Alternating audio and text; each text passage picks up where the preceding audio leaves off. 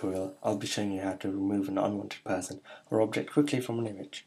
I'll be showing you how to do it in Photoshop CS5 first, so if you have an earlier version of Photoshop, click the annotation here.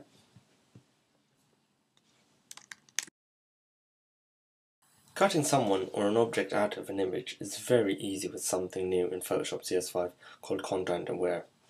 Now, I've just found this image off Flickr and we'll be cutting out the lady to the left here. So let's just zoom in first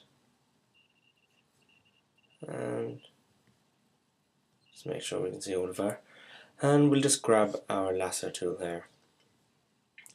Just select around her relatively quickly, doesn't have to be close. You can be more accurate if you like, but it won't make much of a difference. And we'll just take out that guy in the background as well.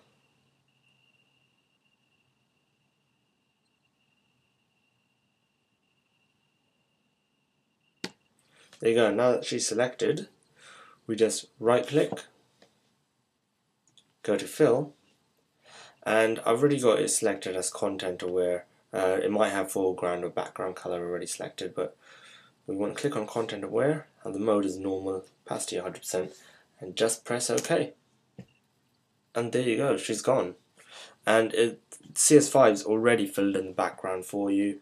Uh, it just works out what's close by and sort of does use the clone stamp tool itself. Now let's just deselect this. And as you notice it's a bit blurry at parts. You can see there's a bit of an edge there and around there. So it's not absolutely perfect.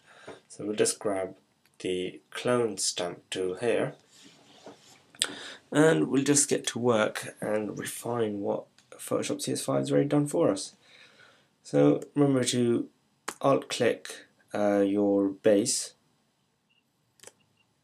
and then just drag along certain edges so uh, with CS5 it also gives you a preview as well.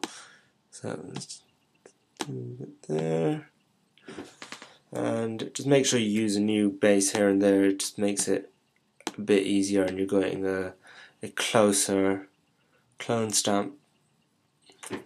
Uh, there's a big edge there, so let's just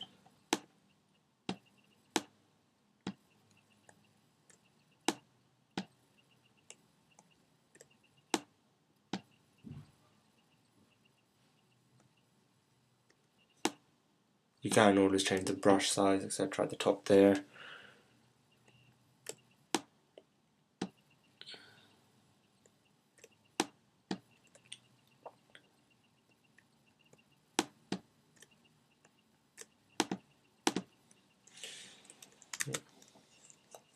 That's a bit modeled there. Let's just take that and get rid of that.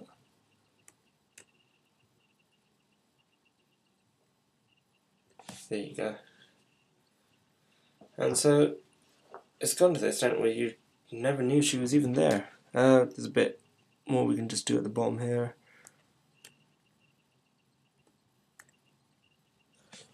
And there you go, so let's just zoom out now. And she's pretty much gone. Uh, you wouldn't know unless you had a very trained eye to see if she was there. Uh, you can always spend a lot longer on that, but it's a very simple technique and it can be done in a short few minutes. Uh, but let's just see what it looked like beforehand. And that's it afterwards. Now, if you don't have Adobe Photoshop CS5 and you have an earlier version, you won't have the option of content aware.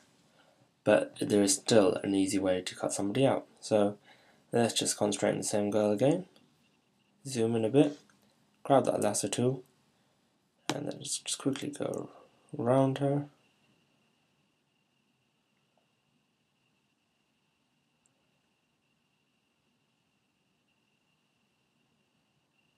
Once again, doesn't have to be perfect, and we get that guy out as well. There you go. Now, with the lasso tool still selected, you'll notice your mouse uh, pointer turns into a different section which allows you to move the selection. So we'll just drag it over to the side, round here, then just go to edit, copy then we'll drag the selection back over on top of her and then we'll just go to edit paste. As you can see she sort of disappeared there. Um, if the uh, some of the features don't line up properly just click on the uh, move tool here.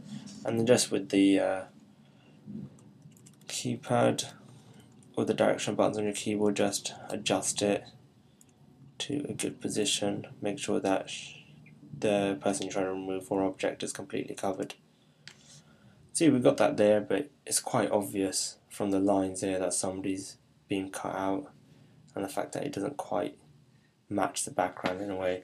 So we'll just right click the layers and flatten the image. And then we'll get out that clone tool. And remember choose a sample on the side of your base by alt clicking and then just run along the lines and see that line's already smoothed out there. And we'll just choose something on this side.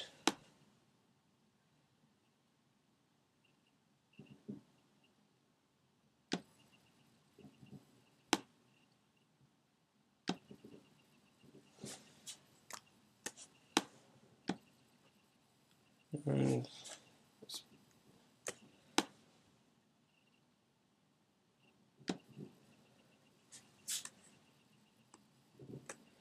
again, just try out whichever bits you can. Try and get any blurriness or any obvious distortion sorts. Now that's looking roughly right. There's a tiny bit more there.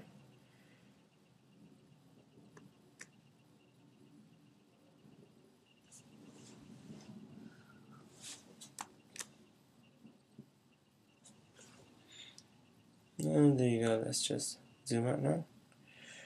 Uh, I need a couple bit more, few touches there. And there you go. So again, this only takes a few minutes and it can be done a lot more accurately than that.